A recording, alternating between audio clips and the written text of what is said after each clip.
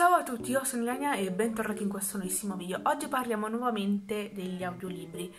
Non sono qui per consigliarvi un servizio specifico o dire quale applicazione o appunto servizio di audiolibri sia migliore, ma parlarvi della mia esperienza e una mia opinione sugli audiolibri assolutamente discutibile. Infatti vi invito a farmi sapere nei commenti cosa ne pensate e condividere se volete la vostra esperienza per quanto riguarda appunto gli audiolibri.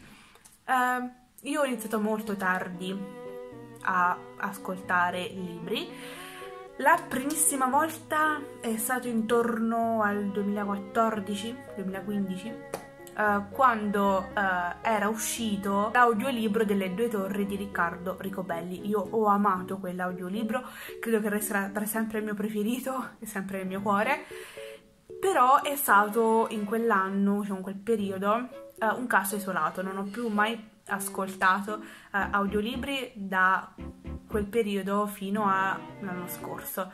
Uh, infatti dal 2020 ho ripreso ad ascoltare audiolibri e mi ci sono trovata benissimo perché ricordo anche la primissima volta che ho ascoltato un audiolibro, io avevo letto appunto Le due torri con una facilità che io tipo neanche potevo immaginarmela, peccato che poi di Riccardo esiste solamente l'audiolibro delle due torri, peccato, uh, però esiste ancora, esiste ancora e se volete godervi le due torri con Riccardo.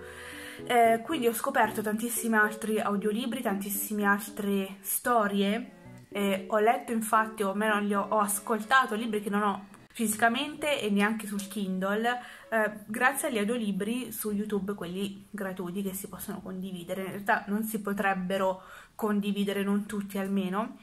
Ho ascoltato sotto Natale, per esempio, Canto di Natale, che io non avevo mai letto in tutta la mia vita, Scenomi. E quindi per fortuna esiste, infatti vi consiglio il canale della locanda della tormenta di Andrea, su nelle schede, dove trovate tantissimi altri audiolibri. Vi consiglio anche sempre su le schede o anche giù nell'info box, vediamo un po' come riesco. Vi lascio uh, il ehm, link diciamo, al canale di, di, Andrea, di Riccardo e anche di un altro canale di cui non so pronunciare assolutamente il nome, però lo trovate uh, giù nell'info box o su nelle schede. Uh, io mi sono trovata benissimo con gli audiolibri perché c'è proprio un'atmosfera molto bella e quindi mi sono uh, immedesimata ancora di più nella storia con i personaggi, con l'ambientazione bellissimo perché appunto ripeto c'è questa musica di sottofondo, questi effetti sonori che io adoro, veramente adoro e secondo me potrebbero creare un'atmosfera ancora più meravigliosa eh, di quando si legge. Naturalmente non tutti eh, sono abituati, eh, a non tutti piace, a me tantissimo e per quanto mi riguarda accelera la lettura perché io ascolto anche quando magari ho da fare, sto magari al computer, sto cucinando o non so, sono a passeggio e voglio ascoltare eh, invece della musica un audiolibro quindi eh, sfrutto al meglio tutta la mia giornata. Eh, appunto, magari sto facendo altro, non posso tenere un libro in mano, lo ascolto. È bellissimo. Eh, io vi invito a provare, ovviamente, vi invito a provare e un po' anche a abituarvi perché eh, ci vuole un po' di abitudine. Io appunto ho avuto un periodo in cui non ho ascoltato proprio nessun audiolibro perché per me esisteva solo l'audiolibro delle due torri di Riccardo e quindi figurarsi. Però dicevo che a non tutti piace, io conosco uh, persone che mi hanno detto, mh, mm, se non ricordo male, Milena, se stai ascoltando confermami, altrimenti faccio una gaffa di quelle enormi.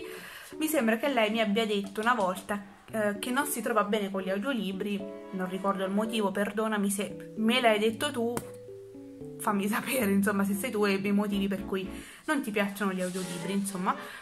Io li uso spesso quando non ho tempo di stare lì con il libro in mano. Adesso ho finito gli esami, ho qualche giorno di stacco eh, tra appunto gli esami e le lezioni, quindi a voglia il tempo ci sta, però ora che riprendono le lezioni magari ho un po' meno tempo per leggere, quindi per accelerarmi un po' e per appunto entrare ancora di più nella storia, eh, ascolto gli audiolibri.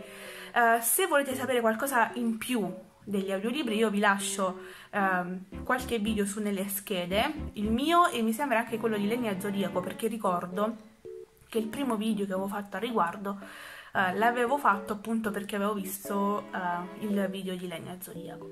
Se volete sapere un po' di più su come la penso io e come magari la pensa anche qualcun altro, io spero che questo video vi sia piaciuto, in tal caso lasciate un like, fatemi sapere nei commenti cosa ne pensate, Milena mi raccomando, confermami o smentiscimi su quello che ho detto poco fa. Se guarderai questo video e iscrivetevi al canale se non ancora l'avete fatto attivando la campanellina per non perdere nessun altro video. E noi ci vediamo alla prossima. Ciao